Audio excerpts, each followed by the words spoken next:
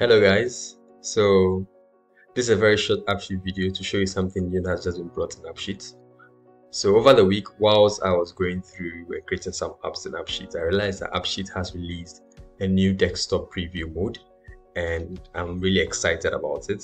But then I realized that for most of my old apps, they were still in the old view or old desktop view. So something like this, this is the old desktop view. This is a very simple inventory management app I created to track inventory. So I had about four sheets, new stock, requisitions, movement, and dashboard. Here just shows uh, movements, inflows, and outflows. Here is for uh, new stock. So when new stock is brought into the organization or into the warehouse or storage platform, this is where it's recorded so you come to new stock so in new stock all you basically do here is record uh, new entries or new quantities of stocks that you've got into the organization. So date a person entering this the number of lines the number of items. So it's three different items and they have various quantities. Sign and then just click here and then uh, you make the entry. Over here then you can save so this is basically a dashboard view. Then we have requisitions where people put in orders. So you see all these are requisitions made by individuals for the stock. These are movements um, that shows the influence and the decisions made. And this is a very, very simple dashboard.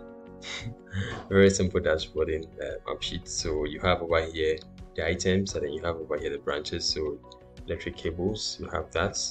Um, I can also select, let's say, Accra and have the various items for just Accra, right? So this is the old view but I'm going to switch up to the new view and have a feel of what it looks like.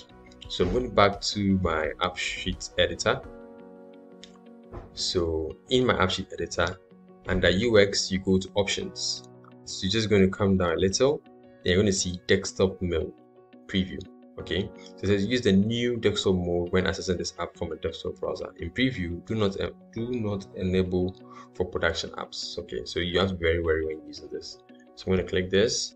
Okay, once that is done, I'm going to click on save. Okay, so now I'm setting my app to the new AppSheet view or the new desktop mode view. So once I come here, I need to sync my desktop preview mode. The new desktop mode, let's see. And bam, I know, right? Amazing.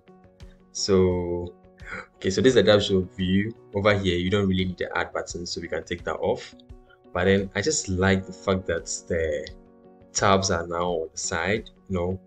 I can click on this to have it in full like this so new stock.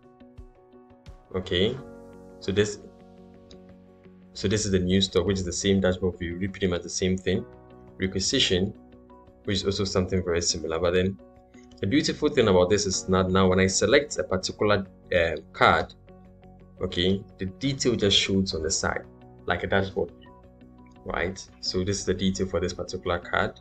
When I select something else, I see the details on the side. When I click on add, a new form is just going to appear on the side. And I, I don't know, I, I just love the look and feel of it. So that's pretty much what the new AppSheet desktop mode looks like.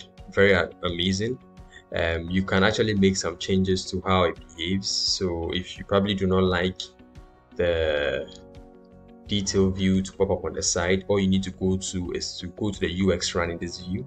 There's a new option that will ask whether you want the screen to split up like this or you want it to just open up in full like how we know. So when you click on this expand button, it will just expand like this. So for me, I don't know, but I think this is pretty much cool. It's amazing.